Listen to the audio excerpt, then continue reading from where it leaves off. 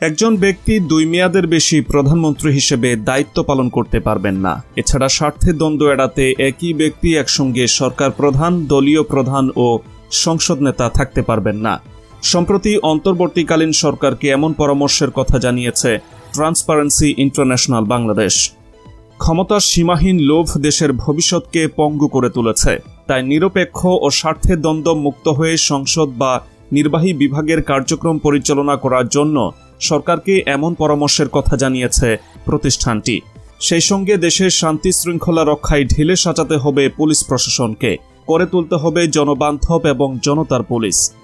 নতুন বাংলাদেশ, গণতন্ত্র ও সুশাসন প্রতিষ্ঠা এবং দুর্নীতি প্রতিরোধে অন্তর্বর্তীকালীন সরকারের করণীয় শীর্ষক এই সভায় বলা হয়, নিরপেক্ষ ও স্বার্থে দ্বন্দ্বমুক্তভাবে সংসদ পরিচালনার জন্য স্পিকারকে সংসদের অভিভাবক হিসেবে দলীয় প্রভাবমুক্ত থেকে ও স্বার্থের দ্বন্দ্ব পরিহার করে সংসদের সব কার্যক্রম পরিচালনা করতে হবে। টিআইবি সাম্প্রতিক সময়ে এসব দাবি তুললেও বেশ কয়েক মাস আগেই ঠিক একই দাবি জানায় বিএনপি। নিরপেক্ষ সরকারের অধীনে নির্বাচনে জয়লাভ করতে পারলে সমমনাদের নিয়ে জাতীয় সরকার গঠন করবে বিএনপি।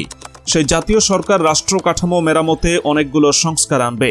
তেমন কিছু সংস্কার আর সিদ্ধান্তের কথা যুক্ত করে সাতাশ দফা রূপরেখা দেয় দলটি। বিএনপির এই রূপরেখায় স্থান পেয়েছে আইন বিভাগ, বিচার বিভাগ ও নির্বাহী বিভাগের নানা সংস্কারের প্রতিশ্রুতি।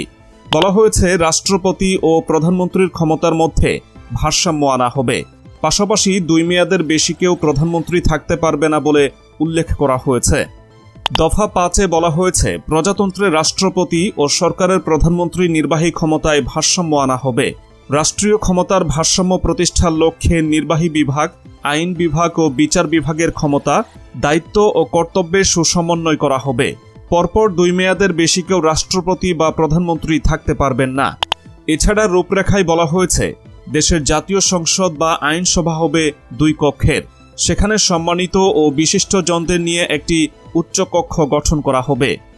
ছয় নম্বর দফায় এই প্রসঙ্গে বলা হয় বিদ্যমান সংসদীয় ব্যবস্থার পাশাপাশি বিশেষজ্ঞ জ্ঞানের সমন্বয়ে রাষ্ট্র পরিচালনার লক্ষ্যে দেশের প্রতিথদশা শিক্ষাবিদ, পেশাজীবী, রাষ্ট্রবিজ্ঞানী, সমাজবিজ্ঞানী ও প্রশাসনিক অভিজ্ঞতা সমৃদ্ধ ব্যক্তিদের সমন্বয়ে আইনসভার উচ্চকক্ষ গঠন করা হবে।